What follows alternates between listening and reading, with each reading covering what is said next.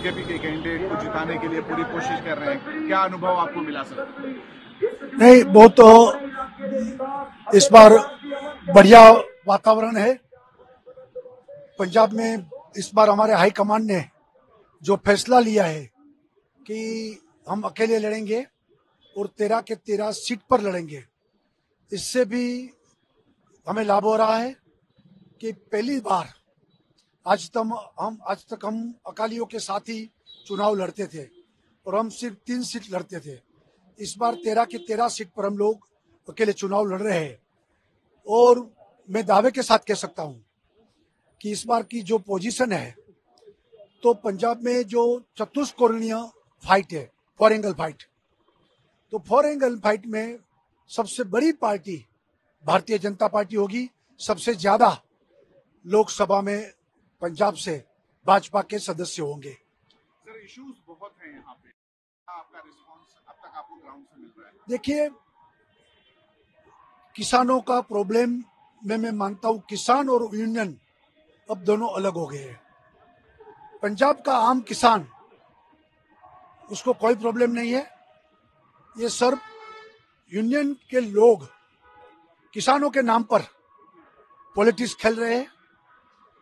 आज पंजाब में पूरे किसान गाँव में, पिंड में भारतीय जनता पार्टी के साथ है। इस बार वो मोदी जी को तीसरी बार प्रधानमंत्री बनाने के लिए मोदी जी से प्रसन्न भी है, मोदी जी पर भरोसा भी है कि पंजाब का भी तरक्की और देश की तरक्की सिर्फ़ मोदी जी कर सकते हैं। इसलिए और मोदी जी ने किसानों के लिए काफ़ी काम किया है और इसमें जो किसान सम्मान निधि अब जो रुपया किसानों के खाते में डायरेक्ट जा रहा है पंजाब के किसान के भी खाते में जा रहा है। किसान के लिए किसान के कृषि बजट में इंफ्रास्ट्रक्चर बढ़ाने के लिए भी इस बार लाखों रु, करोड़ों रुपया का खर्च भारतीय जनता पार्टी की सरकार कर रही है। किसान की आय दुगनी हो इसके लिए जी मोदी जी काम कर रहे हैं।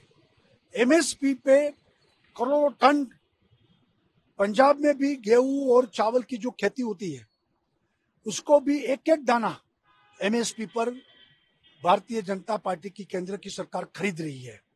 इससे किसान को कोई प्रॉब्लम नहीं है। मैं किसान के यूनियन के नेताओं को भी कहना चाहता हूँ कि भाई आप लोग सिर्फ़ भारतीय जनता पार्टी को टारगेट कर रहे हैं। इसका मतलब यह है कि आप पॉलिटिकल एंगल से कर रहे हैं। आम, हमारी जहाँ जहाँ सरकारें हैं, स्टेट में एमएसपी के साथ हम एक्स्ट्रा बोनस भी देते हैं। तो पंजाब की सरकार क्यों नहीं दे रही है? आम आदमी पार्टी की सरकार क्यों नहीं दे रही है? उसका जवाब तो मांगो। इस बार भारी बारिश हुई थी।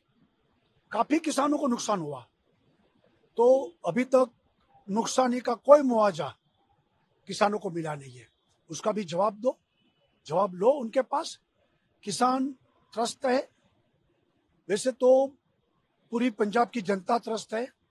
आम आदमी पार्टी की सरकार ने जनता के साथ धोखाबाजी की है, ठगा है, झूठे वादे किए हैं।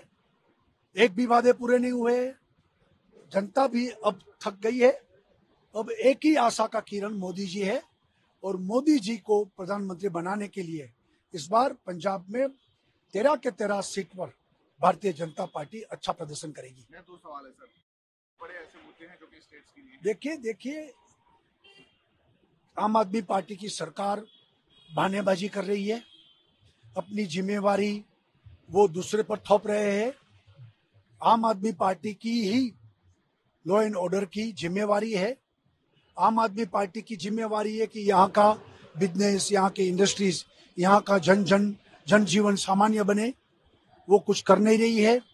और दूसरा किसानों के लिए भी उन्होंने कुछ नहीं किया है। ये सिर्फ़ बहानेबाजी है इसके सिवा कुछ नहीं है। केजरीवाल भी देखिए केजरीवाल का पूरा नकाब उतर गया है। केजरीवाल उन पर जो आरोप है और उनकी जो गिरफ्तारी हुई है अभी भी वो बेल पर है। वो एक तारीख को उनको वापस जेल में जाना है। वो आरोप जो उन पर है उसका जवाब दे केजरीवाल। उनकी जब गिरफ्तारी हुई, तब भी पंजाब में कुछ नहीं था।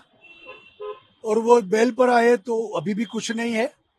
उसका पूरा नकाब उतर गया है। केजरीवाल भ्रष्टाचारी है, ऐसे लोग मान गए